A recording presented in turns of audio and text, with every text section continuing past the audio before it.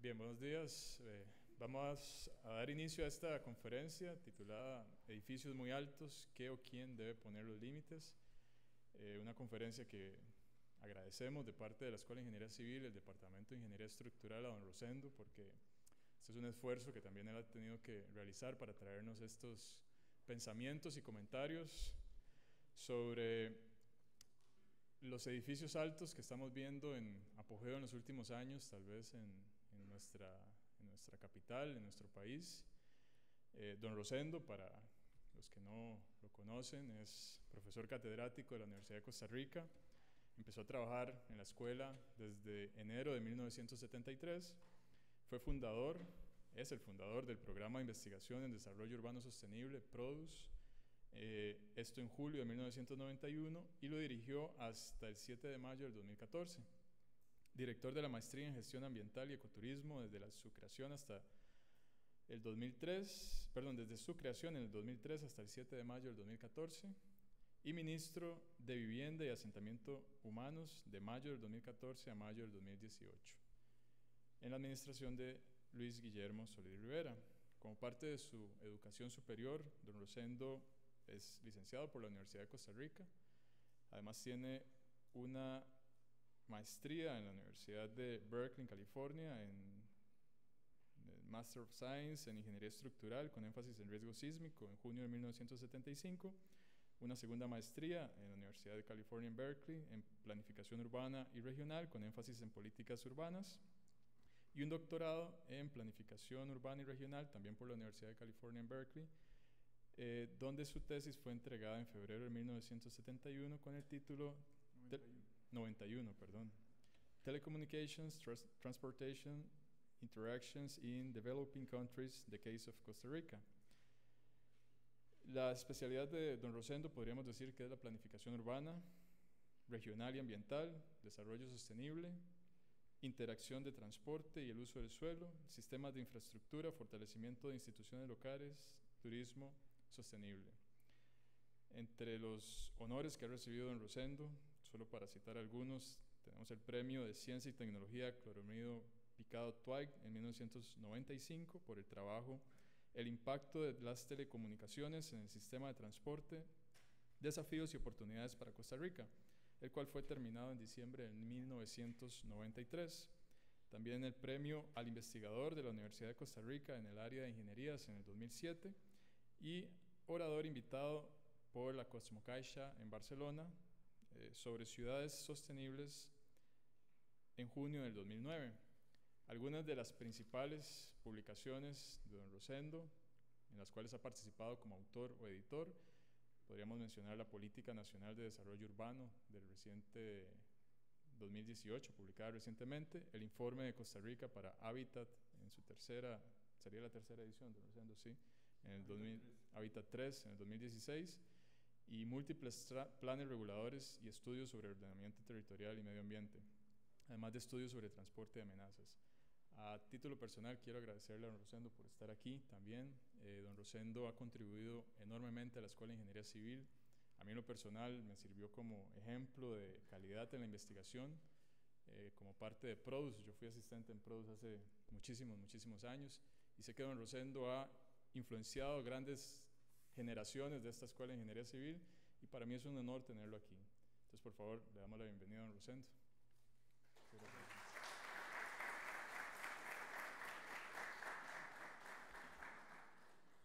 Bueno, muchas gracias por la presentación y, sobre todo por la oportunidad de hablarles a ustedes. Eh, tengo preparada una charla que, si todo sale bien, tal vez 50 minutos, puede ser que se extienda un poco más, pero tengo disponible todo el tiempo que quieran para, para preguntas, porque yo creo que van a haber preguntas después de esta presentación. Eh, preparar este título fue difícil, pero como le decía yo a alguien, eh, hay algo que está claro del título. Yo creo en los límites. Y creo en los límites no solo en esto, sino en muchas cosas. Eh, y los que dicen que no creen en los límites es que no han vivido. ¿verdad? O sea, porque todos tenemos que enfrentarnos a límites de todo tipo y eso es bueno. El asunto básico es quién pone los límites o qué clase de límites, etc. entonces, como parte de mis trabajos de planes de, elaboración de planes reguladores, eh, aunque las comunidades en realidad no, no pelean tanto por edificios altos, hay que decirlo, eh, el tema de las alturas máximas que se permiten en una determinada comunidad ha surgido muchísimas veces en el trabajo a lo largo de los años, ¿verdad? Que son 12 o 13 planes reguladores que se han, que se han elaborado, muy pocos aprobados, ¿verdad? Por, por otras razones que no vienen al caso, a menos de que ustedes pregunten. Eh, entonces, eh, primero que nada, agradecerle al doctor Diego Hidalgo que, que me dio la oportunidad de, profundizar un tema que siempre me ha preocupado, pero que, que tal vez no había tenido la necesidad de escribir o la oportunidad de escribir. Y en ese sentido, eh, yo creo que para hacer una introducción, que en realidad aquí tenemos cuatro tipos de límites diferentes, ¿verdad? El primer límite es eh, el límite tecnológico, que es el que menos me preocupa, aunque sé que para ustedes es lo más importante, ah, pero voy a hablar algunas cosas de eso. El segundo es el límite eh, económico, que no voy a hablar mucho, pero que porque no tengo suficiente experiencia, pero creo que es bastante importante. Por otro lado está el límite regulatorio que nosotros regulamos a través de planes reguladores y finalmente eh, podríamos hablar de un límite que podríamos fijar como, como algo funcional, ¿verdad? Algo de, que, de, de hasta dónde podemos llegar o hasta dónde queremos llegar. Déjenme decirles que nosotros vivimos en un área metropolitana donde la ciudad principal de San José no tiene límites prácticamente. Eso yo no creo que le haya ayudado a desarrollarse nada, porque básicamente si usted tiene una propiedad de una hectárea, usted puede llegar a un nivel de ocupación del terreno de 10 pisos sin un metro cuadrado dedicado a, área verde, y si usted dedica área verde tres cuartas partes de la, de la, de la cuadra, puede llegar hasta 40. Pero si solo ocupa un décimo, puede llegar hasta 100. Entonces en San José el señor alcalde y sus técnicos han llegado a la conclusión de que no se ocupan los límites. No le han dicho a nadie, pero esa es la realidad. Entonces debe haber alguna otra razón por la cual esos límites no se han alcanzado. Y de hecho un proyecto de como 40 pisos que se había planteado eh, Hernán Solís en San José, pues fue descontinuado. Y otro muy alto que había aquí en frente del Colegio Federado de Ingenieros y Arquitectos está ahí en un, en un limbo muy interesante que también podríamos discutir aparte. Entonces, básicamente lo que yo quisiera es que tuviéramos una discusión más racional y estoy ordenando las cosas para que, para que por lo menos nos concentremos en temas importantes. Y, considero que, por eso agradezco profundamente que es urgente en medio de la avalancha de rumores y falsificaciones que se propagan con gran frecuencia. Y no voy a dar ningún ejemplo ni de la campaña electoral ni de la huelga, ¿verdad? Para que estén ustedes tranquilos, sientan que estamos en un ambiente académico protegido de rumores locos. Pero hay muchos rumores, entonces yo quisiera recordar algunos de ellos. Por ejemplo, se dijo algunos años de que Costa Rica tenía uno de los peores sistemas portuarios del mundo. Eso es absolutamente falso. Creo que quedamos eh, entre los cinco peores. Y yo me pregunto, ¿y la República Centroafricana y Nepal y Bolivia? ¿Cómo vamos a quedar de 150 en 355? Alguien está mintiendo. Alguien nos está metiendo un 10 con hueco, como decían los abuelos. La otra última fue de muchas más, que San José era la ciudad más congestionada de América Latina. Yo hice una investigación adicional porque yo nunca había investigado ese tema realmente para, para llegar a estas afirmaciones tan arbitrarias. Es mentira. México puede ser, San Paulo puede ser, Río puede ser. Nunca San José, nunca. Y lo he estado observando con muchísimo cuidado, no con la huelga, sino antes. Es mentira. Tal vez cuando estaba el puente de La Platina en su peor crisis podría haber sido, podría haber sido, pero no lo es ahora ni creo que lo sea en los próximos años. Sin embargo, soy de los que creo que la congestión hay que manejarla, que no se puede resolver. Y por otro lado, que Costa Rica está entre los 10 países más desiguales del mundo.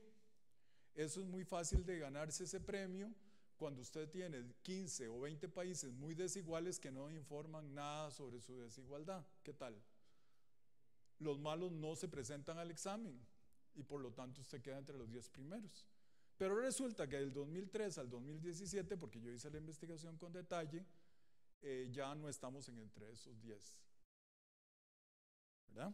Entonces hay una mejora, pero sin embargo la noticia se sacó hace 15 días o hace dos meses y un señor que por dicha, no me acuerdo el nombre, sacó artículos en universidad y sacó artículos en no sé qué otro periódico sobre el tema. Entonces, el otro, aquí en realidad yo no, yo no trabajo en este negocio ni en contra de los que trabajan en este negocio. Bueno, yo sé que algunos aquí tienen que ver con estas cosas tengo un entrenamiento que, que prácticamente nunca usé, entonces a mí no me, pueden meter 10 con hueco tan fácilmente.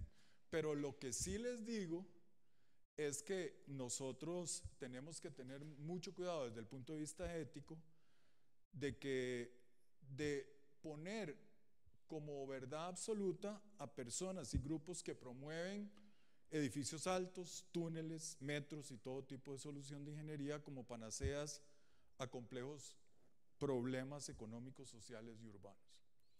Y no, no voy a hablar de esto, pero por ejemplo, cuando tenía el puesto de repetía indefinidamente, ¿verdad? Una y otra vez, que el ministerio no estaba interesado en proyectos de más de cuatro pisos para vivienda popular, porque simplemente sociológicamente era imposible imaginarse que una persona que viene de un precario va a acomodarse bien en un proyecto más alto. Y de hecho todavía no hemos construido sus proyectos. Están construyéndose en este momento o están gestionándose en este momento, pero no se han construido. Eh, de hecho hay uno en Tibás que ya está prácticamente va a estar terminado a finales de año. La arboleda se llama. Entonces, ¿por qué no se puede? ¿Por qué? Porque simplemente tenemos problemas sociológicos de convivencia, etcétera y que lo hemos probado con, internacionalmente muchas veces y localmente con, con el tema de condominios para clase popular. Y en el caso de clase media, nosotros decíamos seis pisos, podrían ser siete, podrían ser ocho, dependiendo de las circunstancias. Para elaborar esto, yo sono, no solamente eh, estuve trabajando lo que tiene que ver directamente con planes reguladores que hemos hecho a lo largo de muchos años y, y lo, reescribí, como yo le decía en otra conferencia la semana pasada, yo no recaliento conferencias, ¿verdad? Yo escribo de nuevo, ¿verdad? Porque es muy difícil recalentar cosas. Entonces, eh, ese es uno de los límites. El otro de los límites es, y esto se lo, los invito a ustedes, es el del Lincoln Institute, que lo que realmente propone, y eso está en Massachusetts, muy cerca de Harvard, pero no es parte de Harvard, plantea que en realidad nosotros tenemos que ser muy liberales en cuanto a las alturas. Cuando ya pone los ejemplos se da cuenta uno que no llega tanto, a cambio de que los desarrolladores inmobiliarios eh, le den a uno cosas de todo tipo, ¿verdad? Eh, y eso lo voy a plantear, pero, pero me revisé estas cosas para preparar esta charla. Entonces, algunas de estas soluciones, las que plantean todos estos grupos de ingenieros, puede que sirvan, pero para poder evaluarlas necesitamos tener una visión sistémica de esos desafíos y, y encontrar una solución que realmente beneficie al mayor número. Hay un señor nefasto en planificación urbana en este país, que no voy a darles el nombre, que tiene de profesión geólogo, que que el otro día en radio dijo cómo era posible que se simplificaran los trámites de aprobación de proyectos, que los pobres jóvenes geólogos recién graduados no iban a encontrar trabajo. Vean ustedes la, la, la, argumentación totalmente rocambolesca de estas cosas. O sea, lo que interesa es que nosotros podamos construir. No es construir a la loca, es construir bien, pero hay que construir. Y argumentar que yo necesito defender el trabajo de los que revisan los proyectos, me parece que, es simplemente irracional. Ha hecho otras cosas, pero de eso no vamos a hablar hoy. En todo caso, eh, Todas estas temáticas son demasiado complejas para dejárselos a un grupo profesional con intereses particulares que son legítimos, pero que no pueden imponer las soluciones al resto de la población sin una discusión abierta. No hay problema, no es cuestión de impedirles que hablen, el tema es que hay que discutir abiertamente lo que se está discutiendo. Y en ese sentido, yo soy un fanático de la economía, a pesar de que mi minor, uno de los minors míos es en economía pública, pero eso es todo desde el punto de vista académico. Pero el asunto fundamental es que nosotros necesitamos hacer un análisis marginal de cualquier cambio en la regulación, cuáles son los beneficios, quién se beneficia, quién se perjudica y cómo se puede lograr una redistribución de esos beneficios o pérdidas si es que existen. Eh, eso es muy importante. Y les digo una cosa, el tema fundamental en términos de ordenamiento territorial y planes reguladores no son los edificios altos. El tema fundamental es cuando yo apruebo que una zona que fue considerada no urbana pasa a ser urbana. Eso a nivel internacional, y Smolka tiene datos de muchos lugares, sube el valor de la tierra 4.5 veces, 5 veces. Ahí es donde está realmente el impacto mayor de la regulación. Por eso es que los planificadores son peligrosos. Y los planificadores manejan una situación en donde las tentaciones de corrupción son muy grandes. Por supuesto, si usted regala todo, como hizo la Municipalidad de San José, no hay tentación de corrupción, porque ¿para qué? ya consiguieron todo lo que andaban buscando, entonces no hay nada que más que puedan querer, pero siguen queriendo. Averigüen. Em, bien. El mercado de suelo y en particular la oferta es fundamental para entender las, realidades de quién se beneficia o se perjudica de permitir la construcción de más edificios más altos, de más edificios más altos, porque hay una cosa que no defino, que es un edificio muy alto. Y definitivamente no estoy en capacidad para decir eso. En parte por, por muchas razones que, que, que, que, son diferentes en diferentes lugares del país. Les voy a dar un ejemplo, algunos ejemplos al final. Pero la cuestión fundamental además es que en las ciudades y en general en toda la sociedad hay enormes externalidades. Externalidades son los impactos económicos a terceros. Y eso quiere decir que cualquier cosa que yo haga afecta a otras personas. Y de hecho, es casi imposible, para que se lleven algo así provocador, es casi imposible justificar proyectos de transporte público simplemente como, como relaciones de beneficio-costo. La única manera de justificarlos, sobre todo cuando son inversiones grandes, es por las externalidades positivas que le pueden dar a la ciudad. Pero también tenemos externalidades positivas del montón de plata que gastamos en las elecciones, para hacerlo bien polémico, o montón de plata que gastamos en educación y en salud, etc. Hay beneficios para el conjunto de la sociedad de no tener gente enferma. Hay beneficios para el conjunto de la sociedad de no tener demasiados ignorantes no funcionales, porque eso ya es más difícil de controlar, pero por lo menos eh, declarados. Entonces, en ese sentido, las externalidades son importantes. Y estas evaluaciones no pueden ser de corto plazo, tienen que ser de largo plazo eh, fundamentalmente. Entonces no podemos pensar en lo que va a pasar en los próximos seis meses o los próximos cinco años, sino que tenemos que tener una visión mucho más amplia. El otro tema que es crítico y que yo creo que, gran parte de los costarricenses no quieren reconocer es que las ciudades tienen grandes necesidades de inversiones en vialidad y de puentes, de áreas verdes, de manejo de aguas pluviales, de manejo de aguas servidas. Y vean qué interesante lo que les voy a decir. Esas son necesidades críticas de las ciudades y críticas de las sociedades. No es que yo estoy haciendo lobby para los ingenieros civiles, porque obviamente los ingenieros civiles se benefician de que se construyan esas cosas, sin duda alguna. Pero tenemos que argumentar eso no porque nos vamos a beneficiar, sino porque en realidad la sociedad la necesita. Y déjenme decirles, hay grupos de ambientalistas muy grandes que consideran que los ingenieros civiles son lo más cercano al diablo que puede haber sobre la faz de los profesionales. ¿verdad? Y no entienden que muchas veces las obras de ingeniería civil disminuyen los impactos ambientales. Entonces, digamos que uno tiene que estar consciente de que hay posiciones muy diversas sobre eso, pero yo creo que se necesita mucha inversión en las ciudades. Y ahí están las listas, digamos, de lo, más significativo. Eh, y es una cosa muy interesante, porque también tenemos la simplificación de los, de los pedigüeños. Si a alguien le dieron algo, ellos quieren algo igual, sin darse cuenta que en cada lugar, cada ciudad va a requerir cosas diferentes. Eh, ¿qué hice yo aquí? Ya, toda la sorpresa la maté. Vamos a ver, ¿dónde estoy?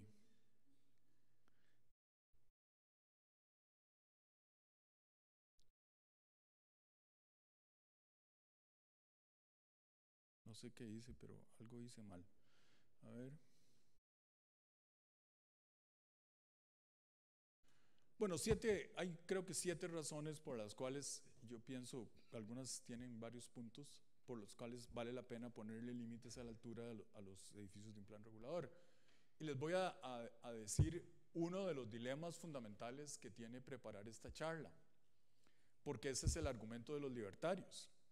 Si usted flexibiliza, que por cierto los considero nefastos para este país, en particular al señor eh, Guevara, pero el tema central es si usted considera que ocho pisos es la altura máxima que usted va a permitir, ¿por qué luego flexibiliza 11? Esa no es una pregunta pequeña. Entonces hay que tener argumentos dobles. ¿Por qué 8 primero y por qué 11 después? por darles números así sacados de la manga. Entonces vamos a trabajar el, el de lo que está en el plan regulador. El valor de la tierra sube por más posibilidades de aumentar la, la, intensidad de uso del suelo y por lo tanto esto presiona hacia arriba el precio de la tierra en la zona y eventualmente el precio de prácticamente todas las construcciones en una zona cercana. Aquí hay, hay un experimento, yo estas cosas ya yo las sé, yo no me voy a poner a demostrar cosas como estas, digamos, no, he tenido tiempo, tal vez algún día lo hagamos, pero es claro que el precio de la tierra entre Montes de Oca y San José es más alto en San José porque se puede construir más alto.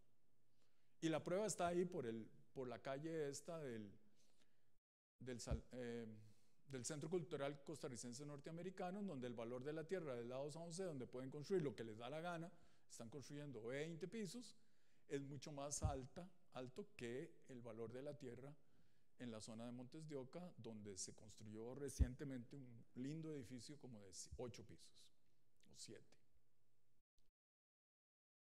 Y no crean que la regulación es, es irrelevante. Este campus de Finca 2, no este edificio propiamente, pero sí los edificios de ingeniería, tuvieron restricciones de alturas impuestas por el plan regulador que había hecho PRODUS.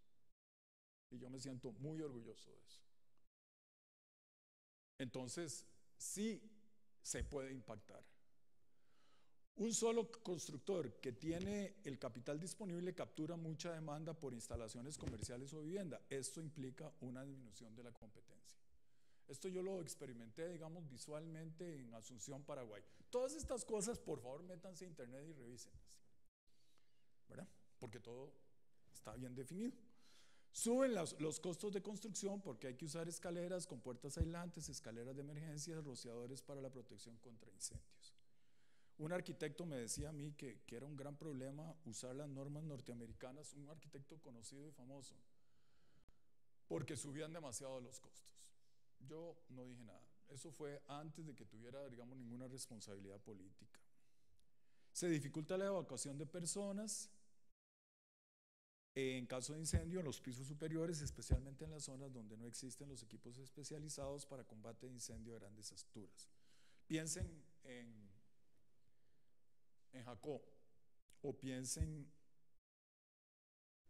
tal vez en Orotina, pero simplemente eso es.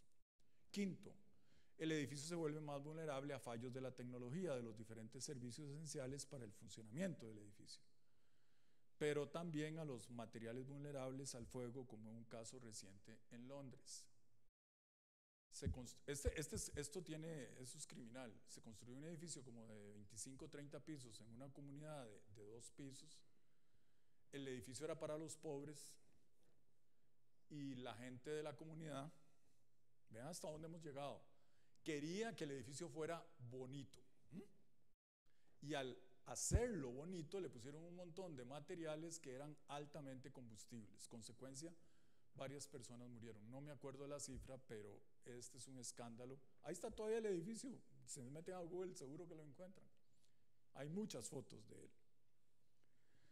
Vulnerabilidad a las fallas del sistema eléctrico, vulnerabilidad de los ascensores, del suministro de agua potable. De esto hay casos muy interesantes de Japón, edificios de 20 pisos. Muchos de los que estaban ahí eh, eran personas de la tercera edad y simplemente la gente no podía ni subir ni bajar, no había agua. Todo funcionaba bien, excepto que las tuberías fallaron. Y eso plantea otro dilema muy importante, que es muy parecido al, al dilema que hace 30 años se discutía sobre, sobre reactores nucleares. El problema no eran los reactores, el problema eran las tuberías que estaban dentro de los reactores que si fallaban, fallaba todo. Son los elementos secundarios los que pueden producirnos grandes problemas. Eso fue lo que pasó en Japón después del, del famoso maremoto, etc. Eh, impacto sobre las propiedades cercanas. Se elimina parte de la privacidad de los ocupantes. Esto se quejaba una señora de, de San Pablo, me acuerdo, hace muchísimos años. Se producen más sombras y baja la temperatura de la calle. Me lo reportó un periodista del Canal 7 a la par de donde está Canal 7. Se pueden producir corrientes de aire peligrosas por efecto cañón cuando son muchos edificios altos. De hecho, si ustedes revisan con cuidado eh, las, las filmaciones del, del, del tifón en Puerto Rico se encuentran con un montón de, ventanas que se quebraron. Bueno, se pueden hacer más seguras. Se, eh, se, bloquean las vistas a las montañas. Ese es uno de los mitos más interesantes. Río Janeiro. Yo estuve en, en, el edificio que tenía 24 pisos. Se me olvidó, se me olvidó el nombre. Pero usted lo que veía era un montón de edificios de 12, 14 pisos que no se veía nada, excepto el edificio de enfrente. Yo estaba privilegiado por estar arriba y yo los veía todos. Pero el tema es que eso no me garantiza las vistas, eso es un mito. Las vistas existen hasta que alguien le construya un edificio igual de alto enfrente. Claro, cuando está en línea de playa, eso es otra cosa, ahí se puede comentar. Eh, otra vez, uf, calma.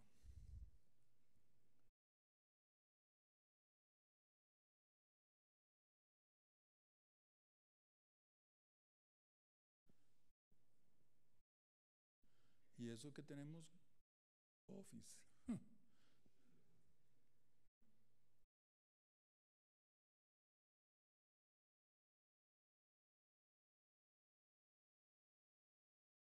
Estoy aquí. Discúlpeme, pero eso sí me atrasa un poco. Eh,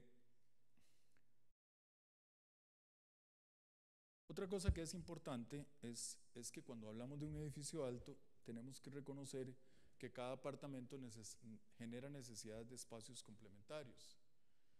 En Barcelona, por ejemplo, usted no tiene que comprar un apartamento con estacionamiento, pero aquí hay un edificio, y voy a hacer bastante transparente, Urban, que se enorgullece de que le da dos espacios de estacionamientos a todos los apartamentos. Sin embargo, eh, los otros edificios altos que están cerca de aquí, sobre la carretera San Pedro, lo que, lo que están logrando es simplemente una relación de 1.3 estacionamientos por apartamento. Entonces, obviamente la recomendación es dejar eso lo más libre posible, independientemente de quién sea o lo que sea. Pero cuando tenemos que discutir estas cosas, tenemos que pensar en áreas verdes, tenemos que pensar en estacionamientos y en tratamiento de aguas servidas.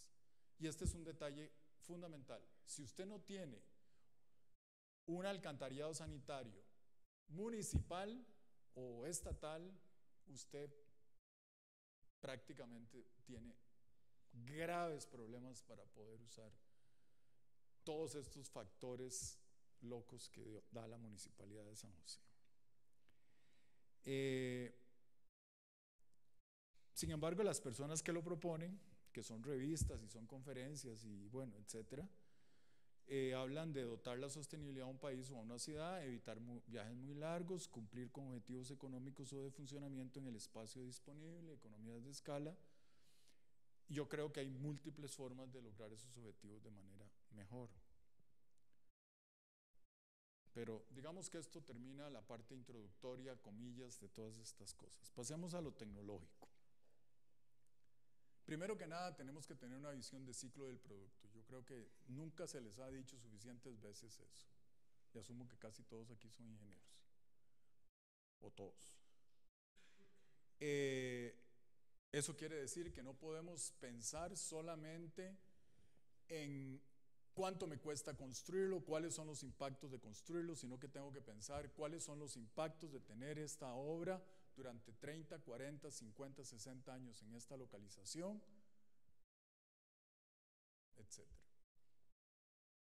Por lo, si hay alguno que no me ha oído antes, el mapa de las calles de la ciudad de San José, pueden ir al Bugambilia a verlo, es exactamente igual al de 1851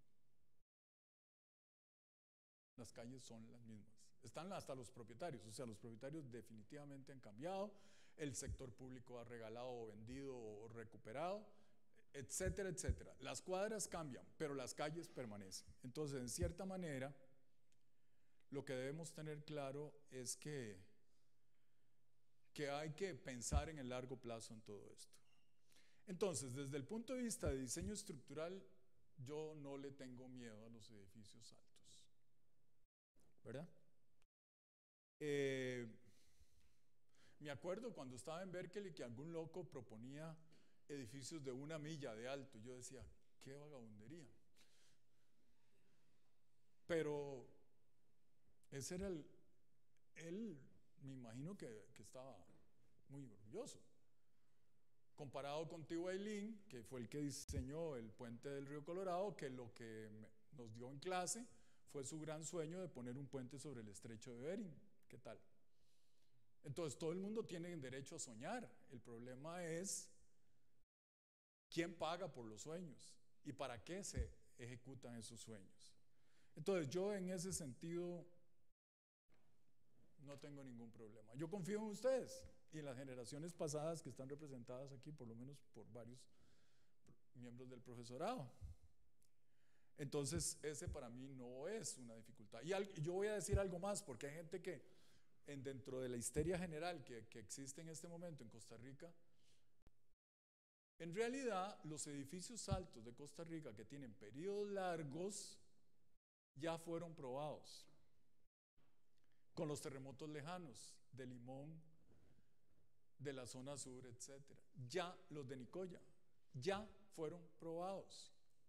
Los que no han sido probados son las casas de dos pisos y los edificios de tres pisos rígidos que están en Cartago.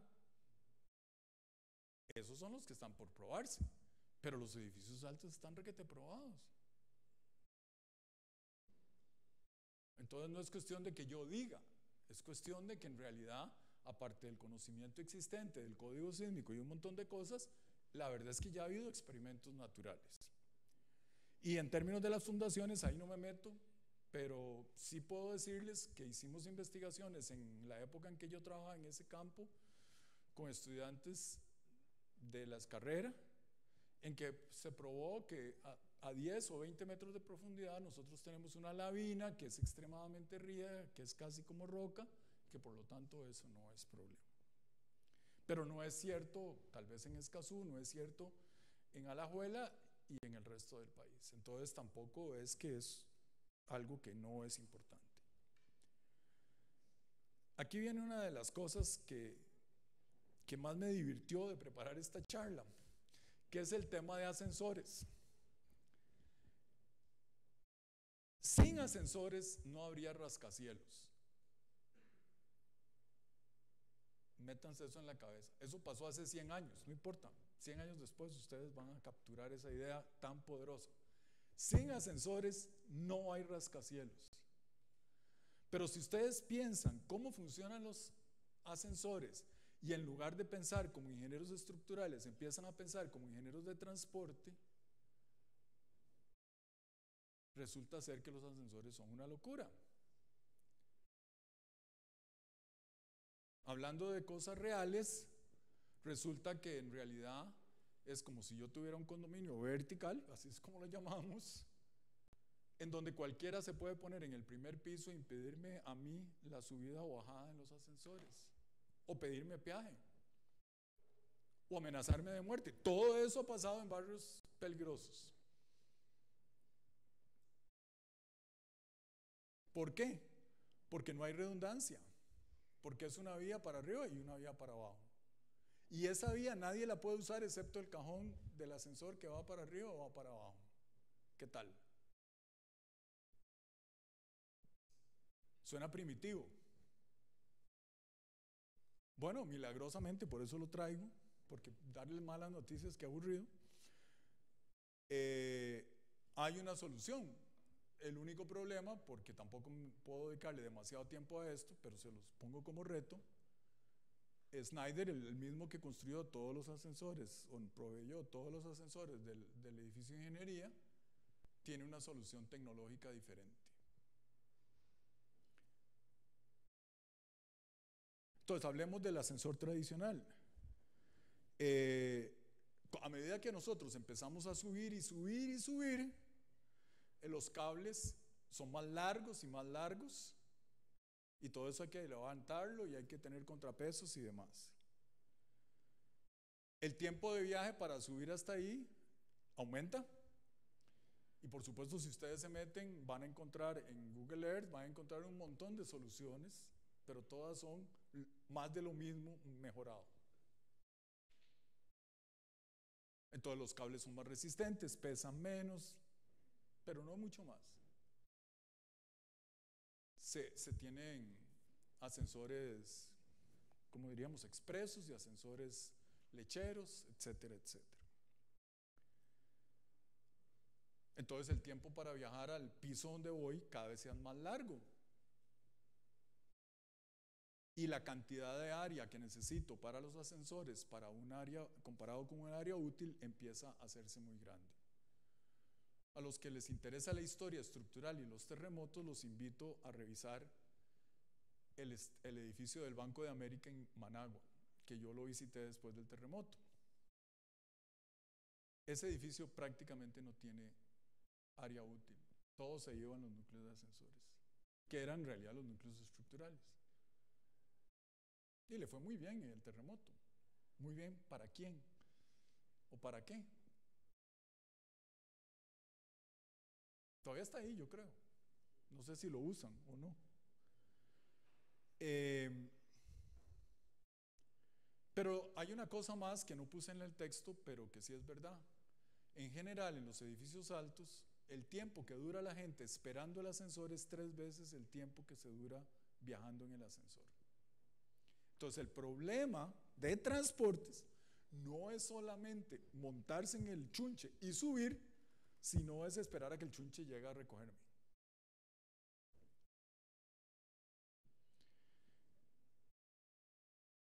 Entonces aquí hay varias ideas, pero entonces vamos a la, a la que sigue.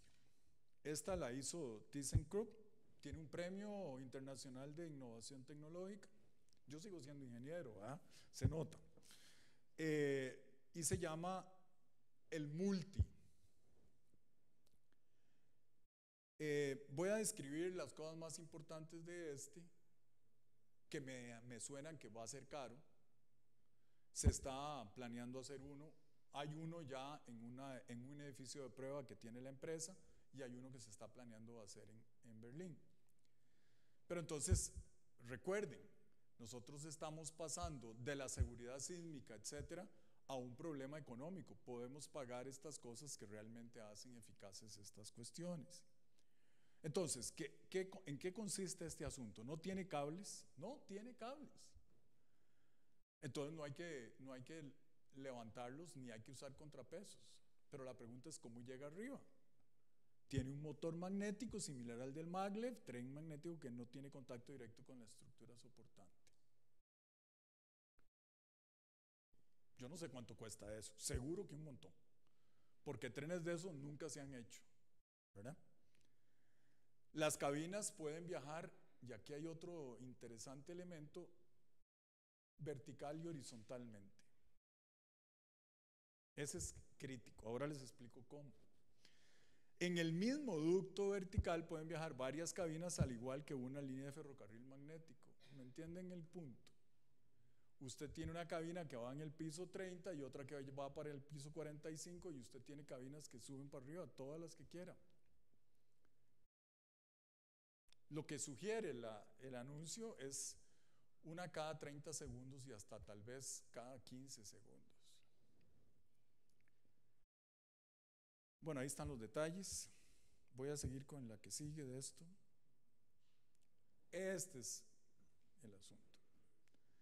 Entonces, hay, métanse al sitio porque es divertidísimo. Lo que pasa es que tiene muy poca información en el fondo.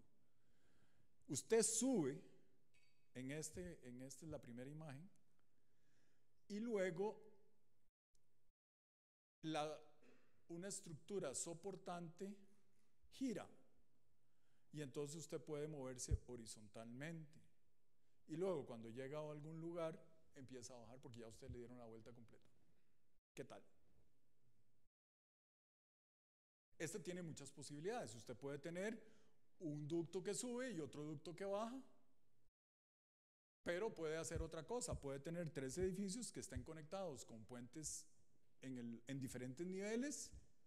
Y de hecho de esos ya existen varios en Asia. Y entonces el ascensor, simplemente el ascensor hace como un, como un círculo, ¿verdad? y puede haber otro que va en dirección contraria. Imagínense, imagínense Sabana Cementerio, ¿qué tal? Es un problema de transportes. Recuerden que no solo está Sabana Cementerio, está Cementerio Sabana. Debe costar una millonada. Pero la idea está ahí y creo que, que eventualmente va a cambiar por completo este tema. Pero la pregunta que nos tenemos que hacer, ya cambiando de, de, esta aspiración, de, este, de esta cuestión, es quiénes se benefician de permitir mayor altura. Y yo quiero, yo quiero ser muy claro, los dueños directos o indirectos de la tierra, esos los que se benefician. Porque compraron esa tierra suponiendo que iba a ser de tres niveles o de 10 o de 5 o de lo que fuera, y ahora pueden construir 30 o 40. Esos son los que se benefician. En la vida práctica es muy difícil saber quién se benefició y quién no se benefició. ¿Por qué? Porque la plata cambia y entonces empieza a haber expectativas de que va a cambiar y la gente está dispuesta a pagar más antes de que realmente se, se genere. Entonces, capturar ese dinero no es tan sencillo, pero hay que tener claro el asunto. En ese sentido, por supuesto, a las empresas que dominan la construcción de esas obras más complejas que las tradicionales y que tienen acceso al capital. Entonces hay tres beneficiados. Primero los que tienen la tierra, segundo los que tienen conocimiento tecnológico, que en realidad son los menos importantes del trío, y tercero los que tienen el capital para construir eso.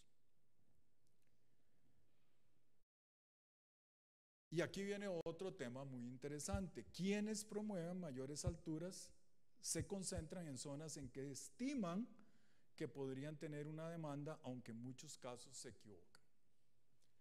Hay un planificador de San José cuyo nombre me voy a reservar hoy, pero si me lo preguntan al final se los cuento, que insiste que los desarrolladores inmobiliarios nunca se equivocan. A mí, digamos que ya yo superé esa etapa de cuentos.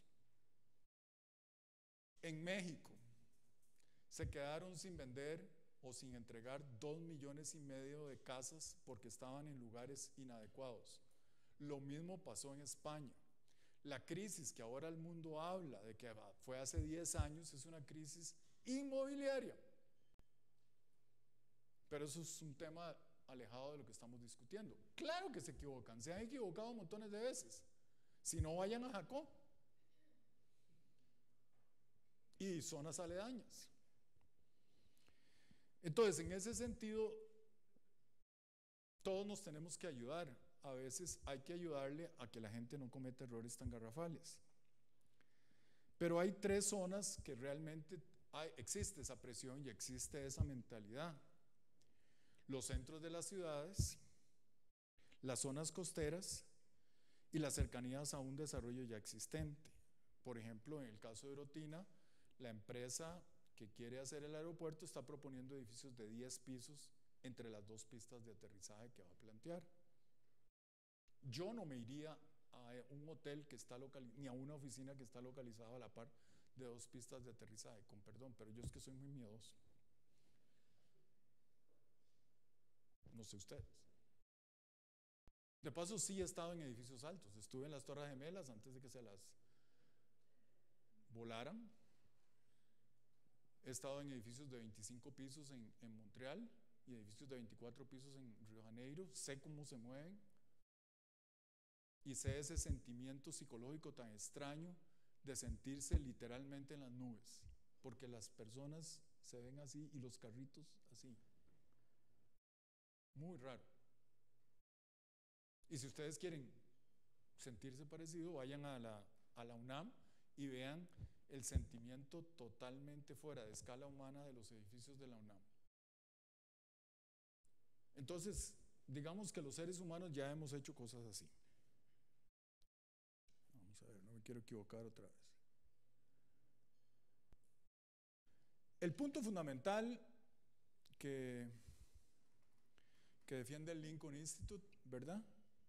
Es que usualmente esta demanda adicional y esta querer poder construir más no es producto del esfuerzo del propietario, sino de la evolución de la demanda de diferentes bienes y servicios que es producto del esfuerzo del Estado o del conjunto de la sociedad.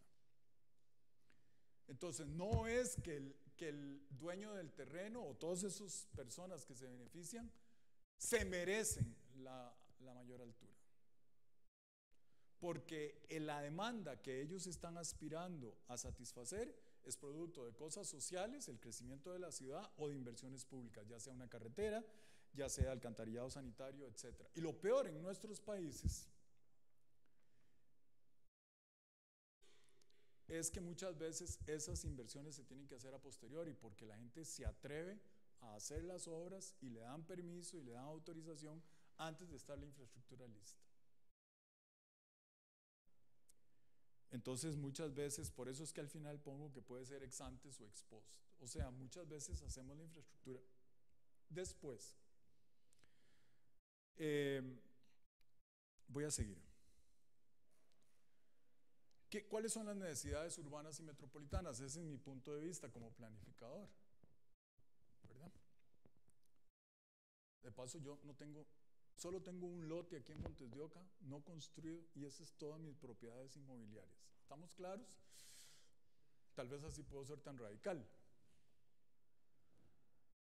Densificación, ¿para qué? ¿Y dónde y hasta cuándo? ¿Y hasta cuánto? Ese es un tema. Queremos densificar. Si, usted, si nos mantenemos en el transporte, podríamos decir que se necesitan 100 habitantes por hectárea para poder hacer un, un sistema de transporte moderno competitivo. Y yo estoy a favor de eso. Pero les voy a contar un cuento. Uno de los edificios altos de, del Paseo Colón, entre los anuncios que sacaba es, tenemos un busito especializado para ustedes para que vayan a comprar Escazú. ¿Mm? ¿Dónde está el desarrollo urbano? ¿Dónde está la interacción? Déjenme contarles algo, porque muchas de estas cosas no las pude meter. Pero gran parte de los apartamentos en Londres y en Nueva York los tienen personas supermillonarias que no viven ahí. Es mejor tener un millonario borracho que ande por ahí a no tener millonario del todo. Porque tiene el apartamento pero no anda por ahí.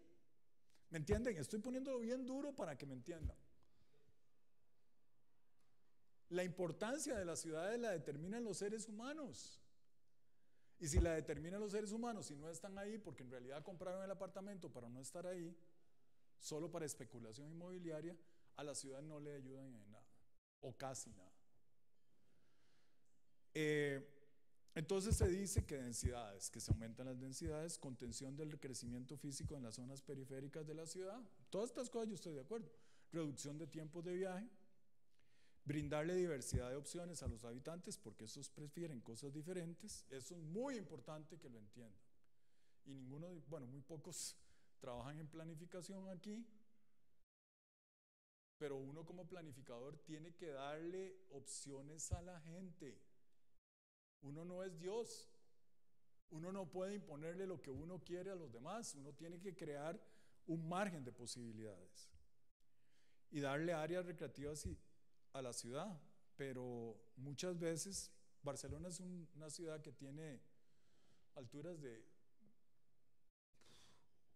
6, 4, 6, 8 pisos. Y mucha gente se está quejando de que no hay suficientes áreas verdes, a pesar de que hay muchos parques, porque es demasiada gente. Y entonces, ¿qué le pueden dar a la ciudad los desarrolladores inmobiliarios? Atractiva, infraestructura, vitalidad a estos, eso es lo que se le puede dar a los desarrollos inmobiliarios. ¿Cuáles son las necesidades urbanas y metropolitanas? Mejorar las ciudades estableciendo rangos para los parámetros óptimos, pero esto muchas veces significa valores máximos o mínimos que se vuelven determinantes, demasiado determinantes. La planificación de las ciudades es un contrato social que requiere revisiones periódicos y por lo tanto hay que facilitar esos procesos. Y ese es el grave problema que tenemos en ordenamiento territorial. La gente cree que no tengamos que no tener planes reguladores es grave. Pero yo creo que tan grave como eso es que cada vez que queremos cambiar el plan regulador hay que hacer toda una burocracia pagándole a los consultores por cosas absolutamente irrelevantes porque si no, no se puede cambiar el plan regulador. Eso es absolutamente irracional. Pero la gente prefiere discutir otros temas en este país. Entonces es urgente hacer contratos sociales de simplificación de trámites para poder cambiar el plan regulador como se ocupe. Que eso puede incluir subir el, el número de pisos que se puede construir en ese lugar. Pero yo quiero enfatizar algo que es vital desde el punto de vista ambiental, si es que hay muchos ambientalistas, por lo menos de la boca para afuera, en este auditorio. En el ambiente, usted tiene que aplicar el sentido de precaución, porque una vez que usted autoriza algo, ya no se puede retroceder. Un hidrogeólogo nos dijo a nosotros hace mucho tiempo, el fundador de la escuela aquí en la universidad, que no se podía explotar ningún acuífero costero en este país porque todos iban a quedar destruidos. Es una posición muy interesante. ¿Qué es lo que debemos hacer? ¿Permitirnos que los destruyan como hicieron en Tamarindo y un montón de lugares en Guanacaste? ¿O no usarlos porque en cualquier cosa que les extraigamos lo vamos a destruir igual? Pero la conclusión obvia es que si usted quiere desarrollos en las zonas costeras de Costa Rica, no puede confiarse en los acuíferos locales. Entonces, eso es un ejemplo, pero hay muchos otros. Lo que tenemos que hacer es el sentido de precaución. Podría ser que dentro de 10 años decidamos que 20 pisos está bien, pero en este momento tal vez vamos despacio para poder aprender de ese proceso. ¿Y esto qué pasó? Diablo.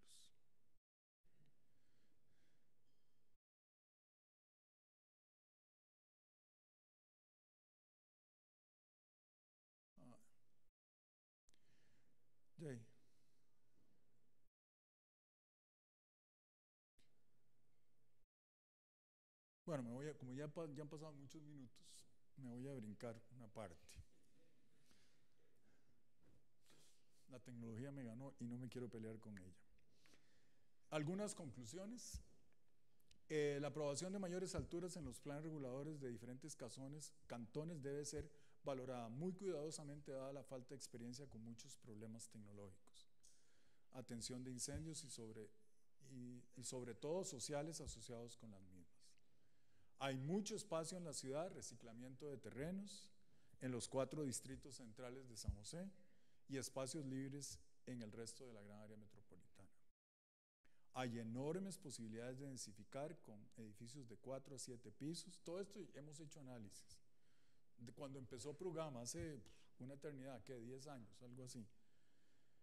En todos los cantones de la región y en la casi totalidad de los distritos, que es mucho más preciso. Hay muchas experiencias negativas de utilizar esas soluciones para vivienda popular. Déjenme decirles algo. Hace muchos años en Estados Unidos a dos edificios de 12 pisos se les dio un premio por innovación tecnológica en vivienda popular. Cinco, seis, siete años después los estaban demoliendo a punta de bombas bien colocaditas.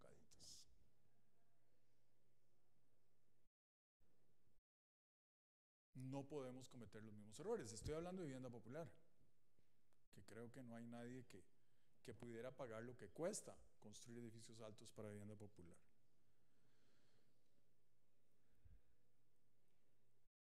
Comentarios finales. El desafío fundamental es cómo mejorar las ciudades, hacerlas más productivas y mejorar la calidad de vida a sus habitantes. Ese es el tema. ¿Cómo se podrían lograr los impactos positivos más grandes con otras estrategias? Ese es el tema. Yo me topaba eh, regidores de San Carlos diciéndome a mí, pero es que la inversión en el ferrocarril del norte va a ser fantástica para esta comunidad. Y yo le decía, yo le puedo dar a usted 20 formas más eficaces de gastar la misma plata e impactar más a la sociedad. Eso es lo que se trata. No se trata de armarle la guerra a los constructores. No se trata de disminuir la inversión en construcción. Se trata de escoger bien qué construimos. Entonces la gran pregunta es, cualquier cosa que me diga que es positiva, ¿qué otras formas tengo yo para poder lograr esas cosas positivas? Eh, favorecer el reciclamiento de la ciudad, porque en realidad San José tiene que ser reciclada. ¿Ustedes me entienden? Vayan al, al edificio de la Caja Costarricense del Seguro Social y vuelvan a ver hacia el sur.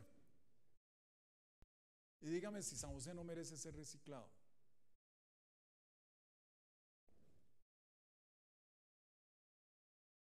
Quitar todas las ventajas, y esto ya es más polémico, todas las ventajas a los edificios más altos, en particular aquellos que hacen lo que tienen que hacer, ganarse clientes, eficiencia energética o el uso del agua.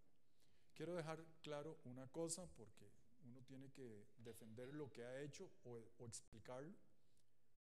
Los edificios de San José se aprueban para darles ventajas en una comisión que incluye al ministro de Vivienda y Asentamientos Humanos. Pero como yo dije muy claro desde la primera vez que estuve en esa reunión, esto es una payasada porque en realidad yo iba.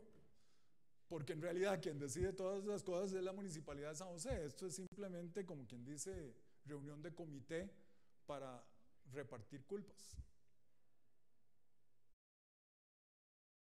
Pero entre la gente que llegó a pedir que le permitieran más altura, ojo, más alturas después de todo lo que les dije.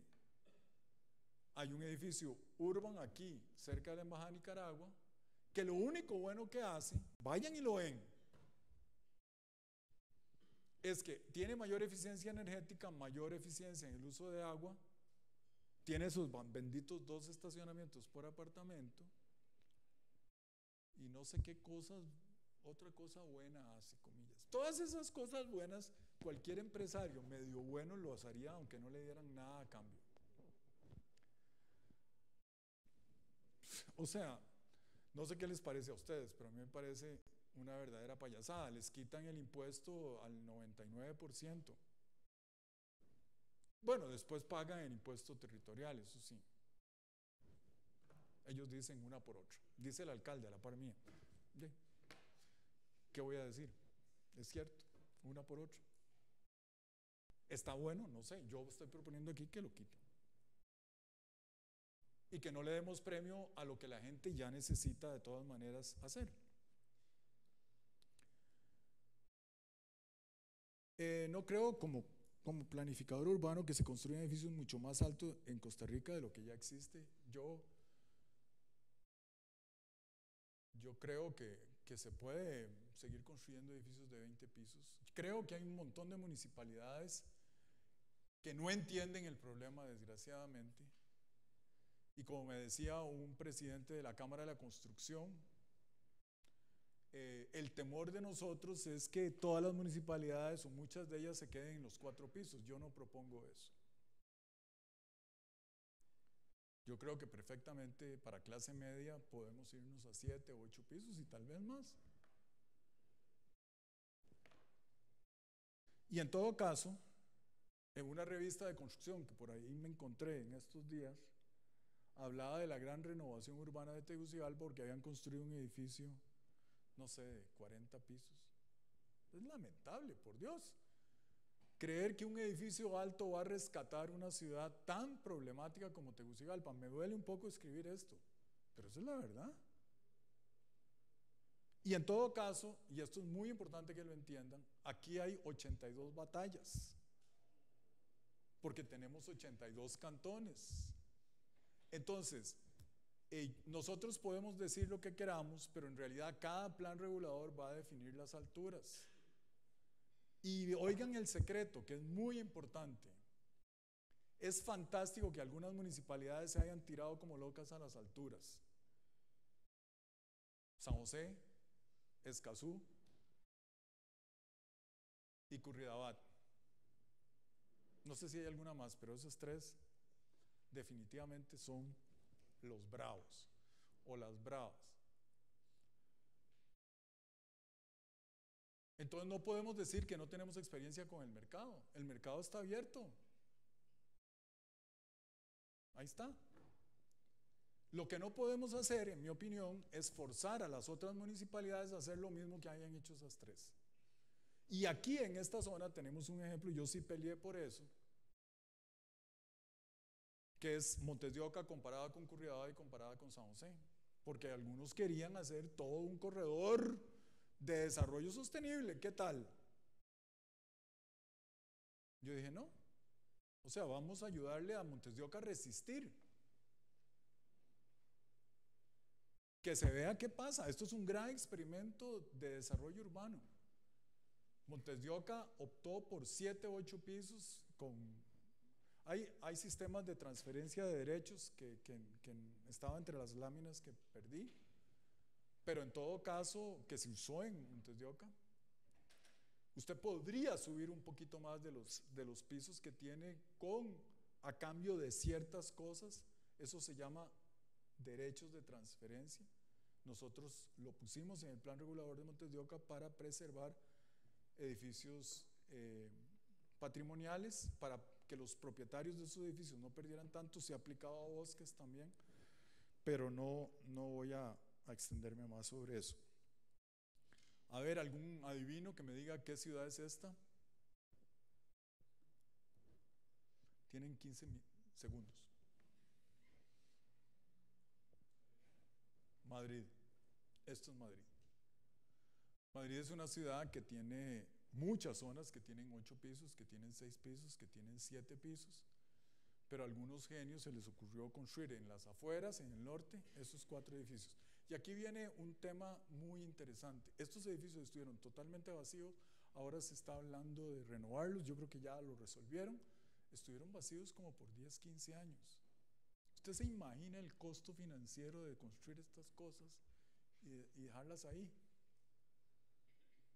De paso les digo, el, peor pecado de falta de sostenibilidad que puede hacer un ingeniero civil, comillas, porque nosotros somos los ejecutores de las locuras de la gente, la gente a veces se enreda quién es culpable de qué, ¿verdad? No hay cosa peor que pueden hacer los ingenieros civiles que es construir cosas que no se usan, como los dos millones y medio de casas en México o los dos millones y medio de casas en, en España, que yo he visto montones de esas. Las de México hicieron quebrar a cinco empresas constructoras. ¿Y eso qué?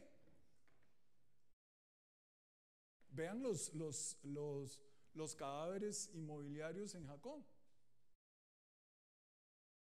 En el frente de playa y atrás. Pues esto es Madrid. ¿Se necesitaba tener esto? Yo creo que no. Pero digamos que es el menos pecador de los pecados. ¿Qué tal esta? Un país que no tiene nada más que arena. Pero el ego de algunas personas hizo que construyeran este edificio. Imagínense cuál es la rentabilidad del terreno aquí. Aquí solo ascensores, con perdón. Ahí usted tiene que pasar como, ah, como así, inclinado. Los gordos no cabemos. ¿Para qué construimos estas cosas? Es puro ego. Vea, yo les digo, créanme, los ingenieros estructurales pueden hacer estas cosas, no tenemos que hacerlas. Es como que todo el mundo quiere ir al Everest, ¿para qué? Basta ver una película y correr mucho por ahí y ya decirse, puchica, ojalá con poco oxígeno. Tenemos que tener claro que las cosas no necesariamente hay que hacerlas, aunque nosotros sepamos que podemos hacerlas. Y eso sí va dirigido a ustedes, porque más de un soñador debe haber por aquí, y me parece muy bien. El tema es qué sueñan. Bueno, este es el mismo. Estos no tenían comprador. Ahora hay una gran discusión porque en China se construyeron ciudades completas de, edificios de 40 pisos, etcétera, que no había nada que pasara, pero ya parece que los chinos en su magia dictatorial lograron acomodar a alguna gente que fuera a esas ciudades. Vean,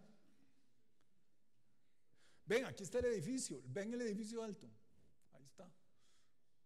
Y ni se ve tan alto ahí de lejos, ¿verdad? Hoy las leyes de la perspectiva, ¿verdad? Entonces, pero vean qué es lo que hemos construido nosotros. Esta es una charla que yo tenía para otras cuestiones.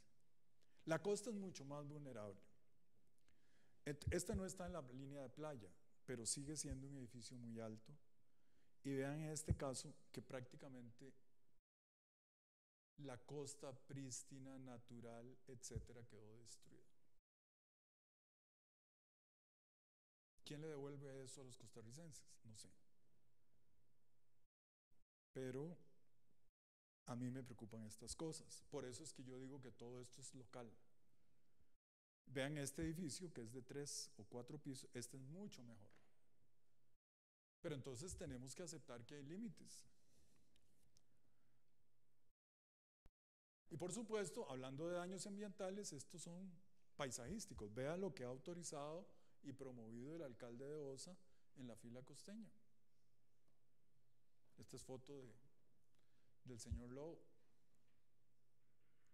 Entonces, de nuevo, los desastres más grandes no están necesariamente en los edificios de altura. Sí crean impactos, pero no son las cosas más dramáticas. Aquí termino. Disculpen que haya durado tanto, pero estoy dispuesto a contestar preguntas si es que las tienen. O críticas. Bien. Este, no, primero, muchas gracias a, a Rosendo. Creo que se merece un, un aplauso por parte de todos. Gracias.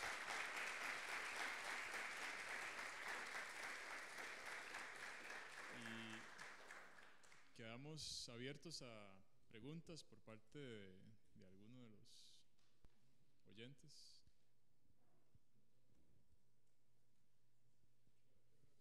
Sí, señor.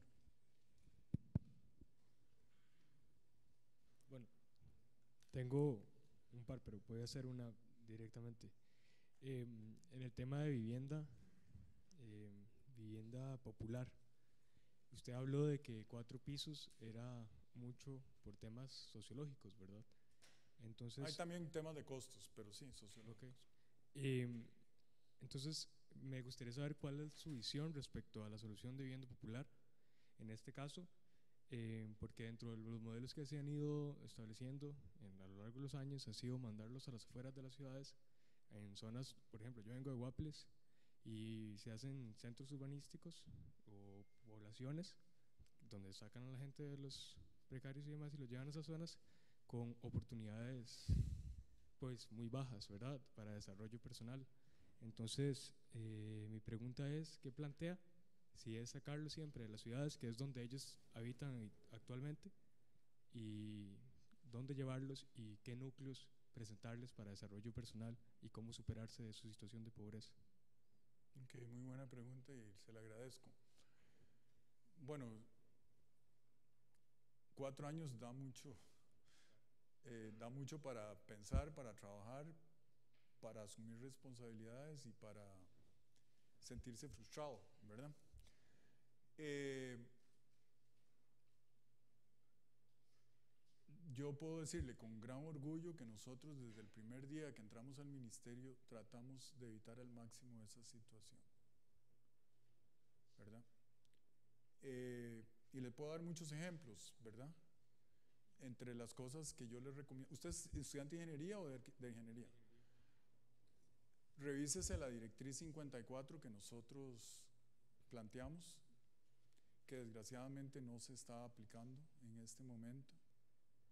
Fue emitida en octubre del 2016, no, no sé los números, en donde realmente se promovía que la gente viva cerca de donde está el proyecto. Eso tenía dos implicaciones. Primero, evitar todo lo que usted escribe y segundo, lograr que haya proyectos más pequeños. Yo soy de la creencia, y esto ha costado una barbaridad pelearlo porque, porque las presiones son muy grandes. La gente quiere proyectos, los empresarios quieren proyectos de 700 casas o 300.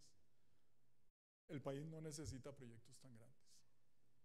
Entonces, cuando usted dice los beneficiarios de este proyecto tienen que estar originalmente cerca de ahí, usted lo que está diciendo es que probablemente necesita proyectos de tamaño intermedio. Y hablemos de intermedio, menos de 100 viviendas. No 10, no 20, no 30, no 50, 80, cosas así. Eh, excepto en ciudades importantes, porque en ciudades importantes, por ejemplo, hay un plan para construir edificaciones en tierras de limbo en Cartago, que se llama Duarco Cocorí, que está avanzado, digamos, diríamos, que tiene 900 viviendas, pero es en cuatro etapas, ¿verdad? Entonces empieza con 288 y luego va a construirse más adelante el resto. La mayor, otra cosa que ustedes tienen que entender, creo que deberían saberlo, dependiendo del nivel en que estén, Cualquier proyecto constructivo de cualquier tipo en este país dura una eternidad. Entonces, esa, esa cosa hace que la política de vivienda en realidad sea por default, por decir, o sea, casi por inevitablemente, es una política de Estado, nunca es una política de gobierno. Usted, todos los proyectos que yo impulsé se van a ver hasta dentro de unos meses o un año o dos años o Dios sabe cuándo. ¿verdad? Entonces uno tiene que tener cuándo se propuso el proyecto, cómo se propuso, etcétera, para tener. Es como un portaaviones, cambiar de dirección es difícil. Pero sí estoy absolutamente consciente, consciente del problema que usted plantea y estamos tratando de resolverlo.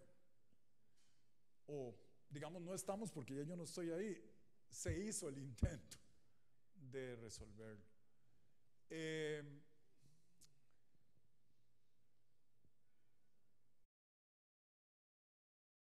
Yo creo que los edificios de mediana altura, de tres y cuatro, el, el, tema de cuatro pisos es que usted lo obliga a una segunda escalera. También está la posibilidad de que si usted coge un, nivel, un, una, un terreno que tenga desniveles, en realidad usted lo convierte en dos edificios de dos pisos o algo así. Entonces hay, hay formas de evitar el ascensor, que es caro y que sube los costos. Y recuerden que por encima de 3.500 metros usted necesita rociadores, creo que esa es la regulación. Entonces, eh, no podemos por múltiples razones hacer edificios muy altos, pero sí, por ejemplo, hay edificios, un, está la arboleda en, en León 13, muy cerca de donde están trabajando lo de circunvalación. tiene cuatro edificios de cuatro pisos eh, con, con concreto, este lo está construyendo Cemex, con concreto que tiene paredes del mismo espesor con diferente nivel de acero. Ese edificio se puede usar para 6 y 7 y 8 pisos, pero digamos que la, el, el, o sea, lo podría usar, se podría usar para clase media. Eh, pero para vivienda popular creemos que cuatro pisos es lo que, lo que conviene para evitar problemas. Y tengo evidencia de, de que los problemas sí se presentan. Por ejemplo, en un condominio de dos pisos la gente no ha pagado agua en cuatro años. ¿Cómo maneja usted eso? No es sencillo.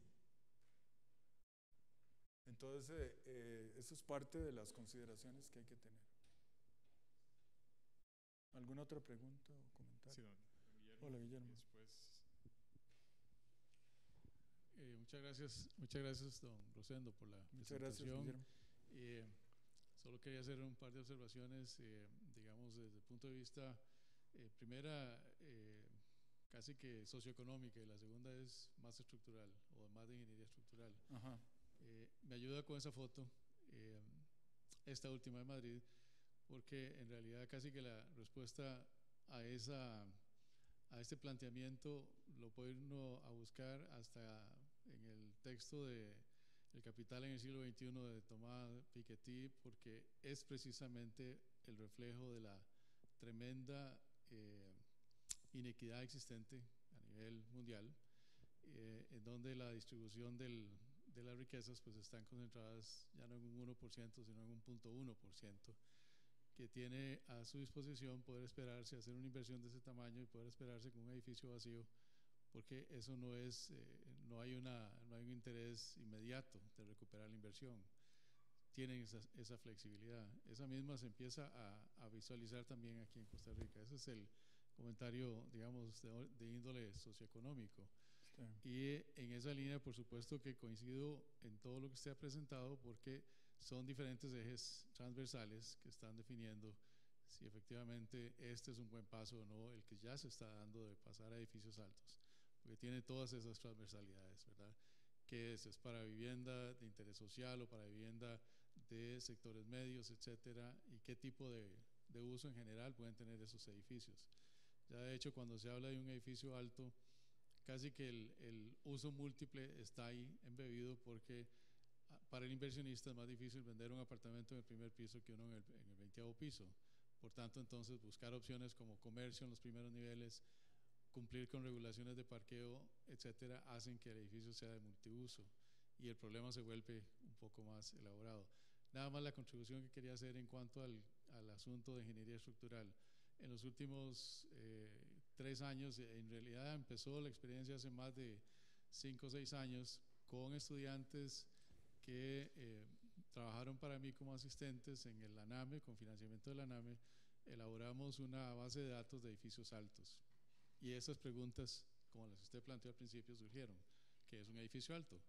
¿Cómo hago para saber qué es un edificio alto y qué no, y qué no lo es? Porque en Costa Rica en 1960 un edificio alto significaba un edificio de cinco pisos y teníamos dos, eh, y, y, los dos a la par. Uno era el Hotel Costa Rica, perdón, uno al frente del otro. El Hotel Costa Rica, o el Gran Hotel, como le decían en ese momento, construido en 1938 o 34 por ahí, y luego al frente el Banco Anglo, cinco pisos, solo que estructura metálica por primera vez en el país.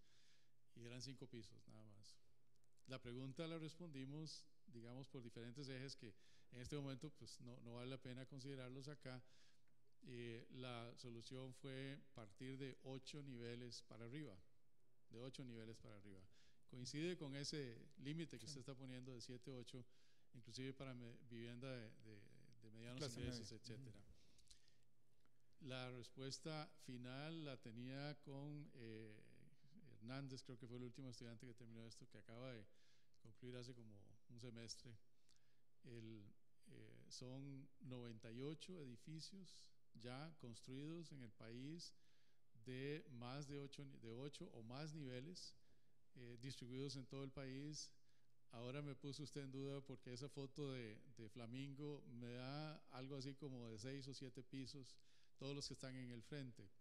En ese tamiz, eh, tamizado que se hizo solamente en Garavitos, donde hay edificios altos fuera del gran área metropolitana, sí. eh, más allá de ocho pisos, que son los que usted se refirió precisamente.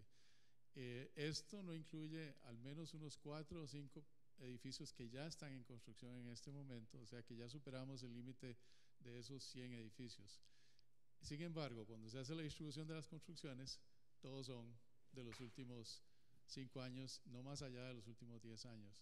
Entonces, la prueba esta de, de sismos y periodos largos que nos dio la oportunidad Ajá. Limón se ejecutó, se ejecutó, sobre una parte muy pequeña de ese número de edificios okay. altos. Ese es un buen argumento. Hay muchos nuevos y eso nos deja un planteamiento importantísimo a quienes participamos en la Comisión del Código Sísmico.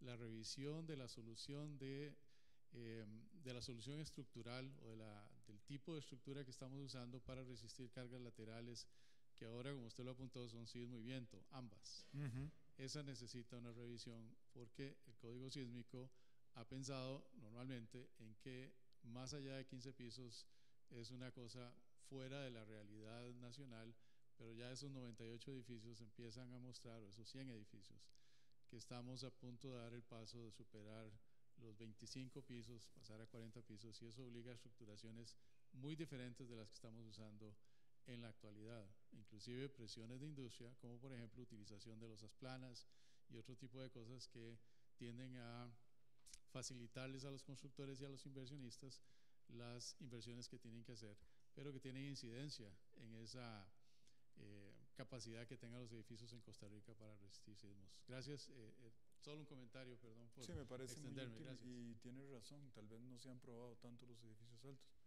pero aquí en Corrido hay tres o cuatro ya casi terminados, ¿verdad? Sí, esos son los que estaremos Y los de Romoser también, y sí.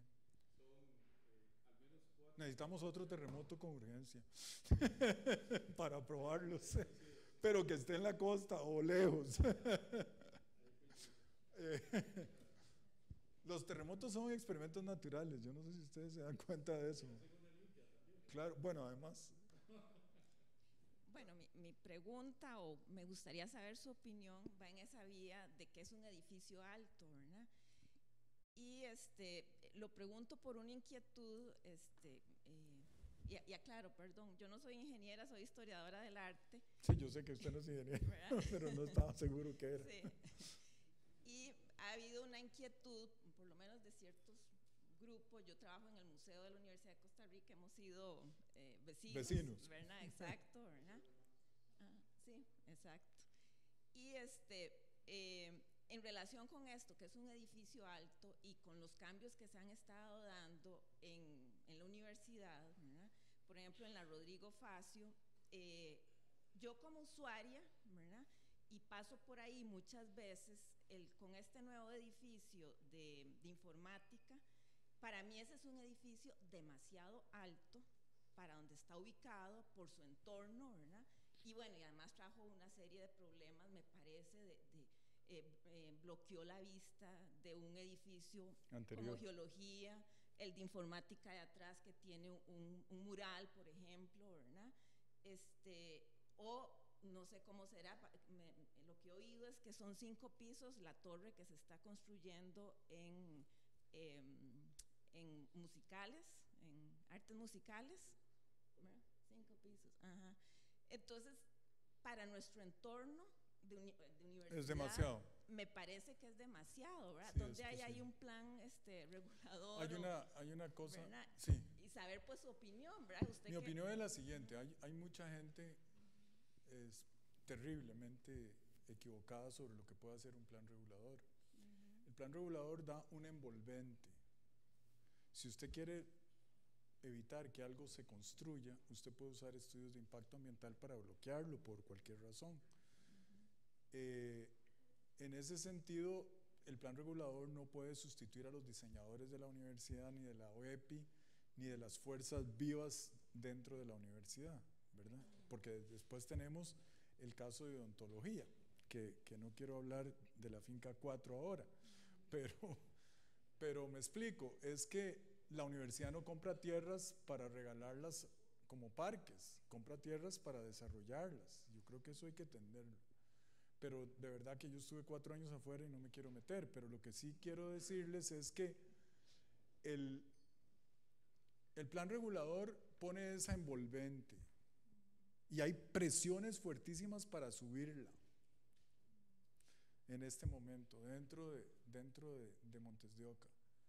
Porque Curridabat ya la subió, porque ese es otro tipo de, otra línea de argumentación. Entonces, estas cosas toman mucho tiempo para evaluarlas.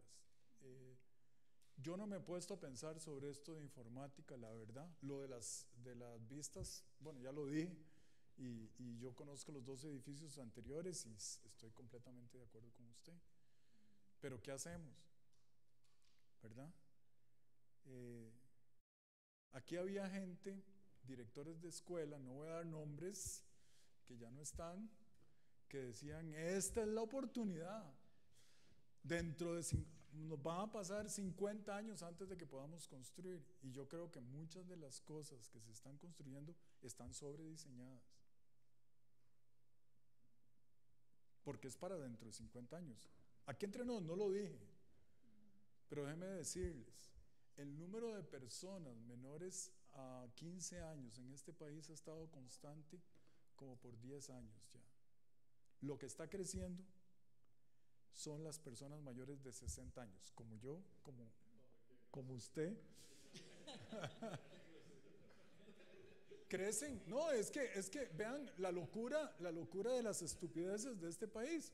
La gente dice, puchica, hay que crear 150 mil trabajos. Ustedes oyeron eso en campaña. Y el otro más bravo todavía decía, yo voy a crear 200 mil. En el gobierno anterior, 200 mil personas salieron de la fuerza de trabajo porque ya estaban muy viejitos. Yo todavía estoy aquí hoy coleando. Pero las cifras no mienten. Sabemos cuánta gente hay de esa edad y cuántos trabajan. 50 mil por año están saliendo de la fuerza de trabajo. Ustedes la tienen fácil. Solo tienen que sustituir a los que se pensionan. Claro, haciendo cosas diferentes, espero. no se me pongan nerviosos, ese es el mensaje. Ustedes, ustedes se sacaron la lotería, muchos se la ganaron ustedes mismos, yo estoy consciente, esto es a puro pulso que están aquí. Pero el tema es que ser pesimista con las oportunidades que ustedes tienen es una locura. Dejémoslo ahí. Eh, no sé si le contesté, pero no puedo, no puedo. O sea, vea, cuando nosotros hacíamos planes reguladores en San Carlos, la gente prácticamente nos acorralaba, inclusive después de las reuniones, porque nosotros les decíamos, no podemos prohibir la piña.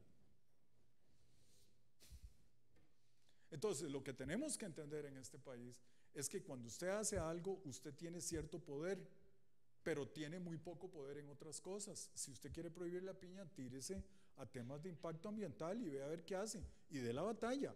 Pero no, no nos puede a nosotros exigir como planificadores hacer cosas que la ley no nos permite. Todo lo que la ley no permite explícitamente está prohibido. Y nosotros somos muy cercanos a los italianos, pero no tanto. Entonces no podemos, no podemos hacer un montón de cosas que quisiéramos hacer. Esas son batallas. Por eso yo dije aquí que la, la batalla de la altura a nivel de planes reguladores son 82 batallas diferentes y muchas de ellas no se van a dar.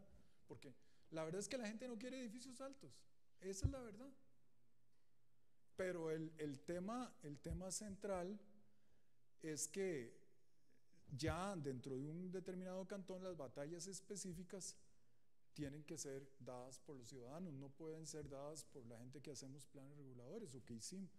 Bueno, yo creo que vamos a seguir haciéndolos, espero. Listo. Sí, sí, adelante.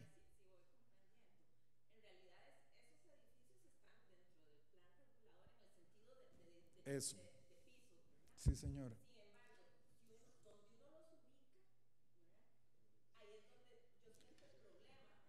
Sí, la, la, universidad, sí, sí, ya entendí. La universidad es un caso, es un caso muy difícil, porque todas las restricciones de altura en San José, a pesar de todo, o sea, cuando yo les hablo, vea que yo puse un, una condición. La municipalidad de San José le permite hacer todas las barbaridades que usted dijo si usted tiene una cuadra completa. Pero si usted tiene 300 metros, no lo dejan. Tal vez 3, 4 pisos. Entonces, el tamaño de la propiedad es esencial, pero ¿cuál es la paradoja de la U? Que la propiedad de la U es toda la finca 1 y la finca 2, etc. Entonces la, U hace, la OEPI hace lo que le dé la gana, más o menos dicho. Y se equivoca más de una vez, como que no nos puso escaleras en el edificio de ingeniería. ¿Verdad? Yo no sé si usted está de acuerdo conmigo, pero es una barbaridad. Bueno, algunos feroces, ¿verdad? Usamos las de emergencia. Y ya más o menos, bueno, Luis también ha estado presionando por eso, el, decano encontró una solución intermedia. Entonces le dice, usa esta puerta. Entonces usamos la puerta que, para no crear demasiados disturbios. Déjeme decirle, los edificios sostenibles que ganan premios en Seattle y en Nueva York tienen dos características bien polémicas para Costa Rica. Primero, el de Seattle no tenía estacionamientos. Tuvo, o sea, unos enredos porque no querían poner estacionamientos. Y, eh, también uno de Nueva York no tenía estacionamientos. Pero el caso del de Seattle hicieron otra cosa muy interesante. Hicieron unas escaleras gigantescas que se con, con sillas que se convertían en salas de reunión de la gente. Es convertir, y vean, piensen en transporte, es convertir la escalera del edificio en una vía peatonal. ¿Qué tal? Roma tiene calles como esas, ¿verdad? San Francisco también, o sea, calles que en realidad son vías peatonales, pero que en realidad tienen grandes desniveles. Eso es una escalera. Pero vean qué cambio de mentalidad. O sea, por Dios, ¿hay algún arquitecto por aquí? Así, infiltrado, comillas. No. Porque ellos me entenderían mejor que ustedes. De paso, no, no es para atacarlos, es para, para que les caiga la peseta. ya, gracias. Yo creo que ya es muy este, tarde. Sí, este, por cuestión de tiempo, bueno, terminamos con la sesión de preguntas. Agradezco muchísimo a toda la participación y por supuesto a don Rosendo por estos pensamientos tan iluminadores en algunos casos. Eh, de nuevo un fuerte aplauso para él. Gracias.